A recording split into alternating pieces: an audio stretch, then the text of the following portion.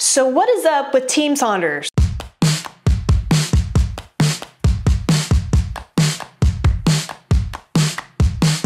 Well, I guess there's a lot of new going on in our world. First of all, welcome to our new studio. This has kind of been in the works for a while. We've actually had a few videos in here already, but uh, we're excited to use this, created this space so that we could have a nice aesthetic when we share our thoughts and feedback on what is going on with Team Saunders. So yeah, what's happening in our world right now is we've actually enjoyed a little bit of off season, a little bit of off season. And now we're starting to think about ramping things back up. We have been doing some swim bike run and there's some focus training going on, but really right now just keeping everything under control and manageable, not really targeting race season just yet, trying to do all the right things in the preseason so that when race season and race prep comes around, we'll be ready to go.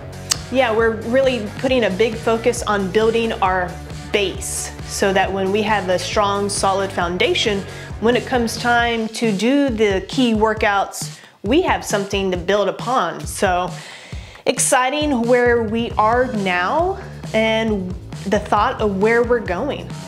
One of the things that we're really kind of doing right now is we're running a lot, but I say that, but we're not really running hard or intense. And we're looking at already in the month of January, running more miles than we've run in a long, long time. But it's actually been easy miles and we're starting to see our paces get faster as we go through this process and we can't wait to share what we've been doing behind the scenes for the run training and of course that's going to be an episode coming up pretty soon. While all our run has been pretty base and easy, we have been diving a little bit into building our FTP on the bike. Uh, we've been doing some structured workouts on the bike. Uh, I feel like gains are already being made, even though we're not doing intense workouts, but consistent workouts.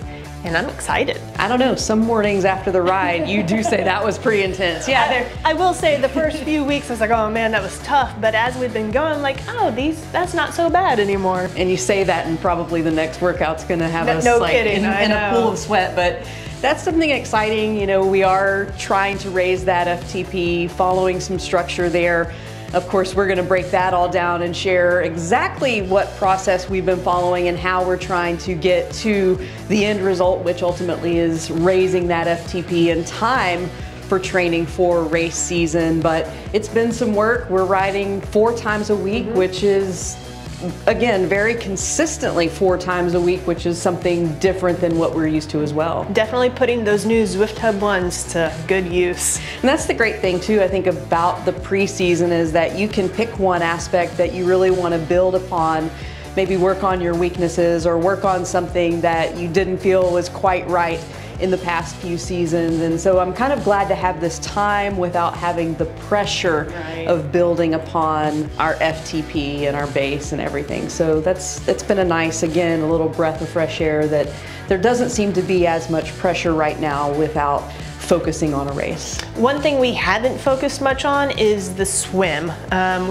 one, because we swim in an outdoor pool and the heater had been broken for quite some time and once it was finally fixed, we uh, had a very cold Arctic blast come through Austin and it was it was chilly. Yeah, it was pretty brutal. I mean, we were in, I mean, again, for, for Texas, we were in the 20s, which is pretty brutal. If we really had to swim, if there was a need to swim, if we were approaching a race very close, we definitely would have done it. Um, we could have got it and gotten in the wetsuits and swam when the heater was out. But again, right now it's about focusing on the things that we really think we need to pay attention to, some things that not necessarily were neglected, but just kind of starting back a little bit at square one because, you know, I've always said you can't build the house if you don't have a great right. foundation. And I think that our base building is the foundation and I'm excited to see where it goes.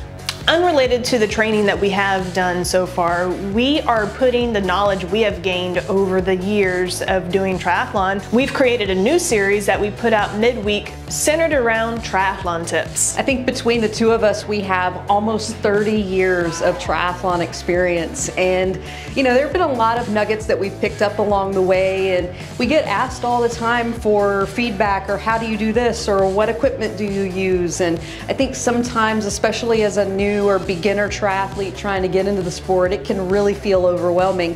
And we hope to make the Tri-Tip series really user friendly and, and we don't want to put out with the fluff. We just want to get to the point and share the tips that we've learned and we're always welcoming to suggestions on what content we should cover but that's you know something we've been wanting to do for years and now we finally bit the bullet of course we have this nice space to do it in so look for those midweek every week and that's been a fun project that we got started and looking forward to see where that goes as well.